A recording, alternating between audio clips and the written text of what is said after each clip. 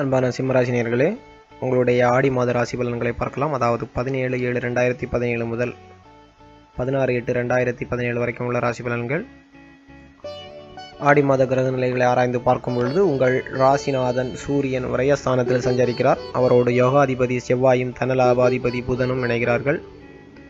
எனவே விரயங்கள் கூடுதலாக இருக்கும். எதையும் சமாளிக்கும் ஆற்றல் பெற்ற நீங்கள் இந்த மாதத்தை இனிய மாதமாக மாற்றிக்கொள்வீர்கள். சொந்த கருத்துக்களை செயல்படுத்திய நீங்கள் இந்த மாதத்தில் அடுத்தவர்களின் ஆலோசனைகளையும் கேட்டு நடக்க நேரிடலாம். சேமிப்பு கரைகிறது என்று கவலைப்படுவீர்கள். ஜென்மத்தில் ராகு இருப்பதால் மன அமைதி கொஞ்சம் குறைவாகவே இருக்கும். மாற்றங்கள் வருவதை ஏற்றுக்கொள்ளலாமா என்று சிந்திப்பீர்கள். குடும்ப சுமை கூடும். கொடுக்கல் வாங்கல்களில் மந்த நிலை உருவாகும். அர்த்தாஷ்டம சனி வக்கர இயக்கத்தில் இருப்பதால் ஆரோக்கியம் சீராகி ஆனந்தப்படுத்தும். விலகி சென்ற பங்குதாரர்கள் மீண்டும் வந்திணைவர்.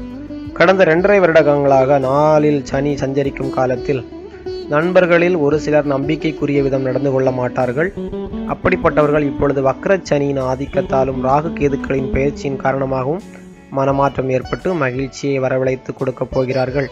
இம்மாதம் ராகு கேது பயிற்சியின் நிகழவிருக்கின்றது. ஜென்ம ராகுவும் சப்தம கேதுவும் மாற்றம் பெறும் பொழுது ஏற்றங்களும் இனிய பலன்களும் வந்து சேரும். பயணஸ்தானத்தில் ராகு சஞ்சரிக்கப் போகிறார். இதுவரை கேட்டும் கிடைக்காத இடமாற்றம்.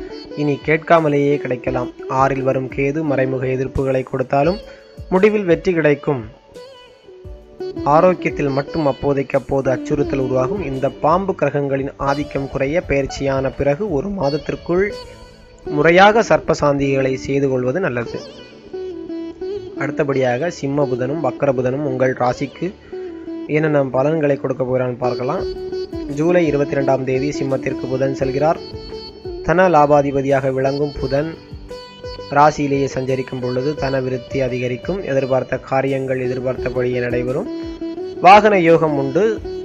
சான்றோர்களின் சந்திப்பால் தகுந்த பலன்கள் கிடைக்கும். வீட்டிற்கு தேவையான விலை உயர்ந்த பொருட்களை வாங்குவதில் ஆர்வம் காட்டுவீர்கள். ஜூலை முப்பதாம் தேதி சிம்மத்திலும் ஆகஸ்ட் ஆறாம் தேதி கடகத்திலும் புதன் வக்கரம் பெறுகிறார். இந்த காலத்தில் குடும்பத்தில் குழப்பங்கள் அதிகரிக்கும்.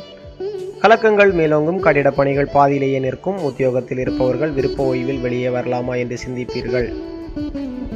அடுத்தபடியாக ராகு கேது மாற்றங்கள் எப்படி உங்களுக்கு நன்மைகளை வழங்கப் போகிறது பார்க்கலாம். ஜூலை இருபத்தி ஏழாம் தேதி கடகத்திற்கு ராகுவும் மகரத்திற்கு கேதுவும் செல்கிறார்கள். இந்த சர்ப்ப கிரகத்தின் மாற்றங்கள் நன்மையை உங்களுக்கு வழங்கும். இதுவரைக்கும் ஜென்மத்தில் சஞ்சரித்து வந்த ராகு சிரமங்களையும் சிக்கல்களையும் துன்பங்களையும் உருவாக்கி இருக்கலாம். ஆரோக்கிய தொல்லை வந்திருக்கலாம். அவற்றில் இருந்தெல்லாம் விடுபட சூழ்நிலை இப்பொழுது உருவாகும். ஜீவனஸ்தானத்தில் கேது சஞ்சரிக்கப் போவதால் எதிர்பார்ப்புகளை சமாளிக்கும் சூழ்நிலை உருவாகும். உத்தியோகத்தில் அதிகாரிகளை அனுசரித்து செல்வது நல்லது. கடன் சுமை குறைய சொத்துக்களை விற்க நேரிடலாம். ஆன்மீக பணியில் ஆர்வம் காட்டுவீர்கள். சனியின் வக்ர நிவர்த்தி காலம் அடுத்தபடியாக உங்களுக்கு என்னென்ன நற்பல நற்பலன்களை வழங்கப் போகிறேன்னு பார்க்கலாம். அர்த்தாஷ்டம சனி வக்ர நிவர்த்தியாகும் பொழுது பலம் கூடுகிறது. எனவே ஆகஸ்ட் நான்காம் தேதிக்கு மேல் எதிலும் கூடுதல் கவனம் தேவை. திடீர் பிரச்சனைகள் உருவாகலாம். குடும்ப சுமை கூடும். உறவினர்களாலும் பிரச்சனைகள் ஏற்படலாம். நன்றி நண்பர்களே. இதே போன்ற ராசி பலன்களை மாதந்தோறும் அறிந்து கொள்ள எங்களது யூடியூப் சேனலை சப்ஸ்கிரைப் பண்ணுங்கள் பதிவு பிடிச்சிருந்தால் லைக் பண்ணுங்கள் ஷேர் பண்ணுங்கள் கமெண்ட் பண்ணுங்கள் நன்றி வணக்கம்.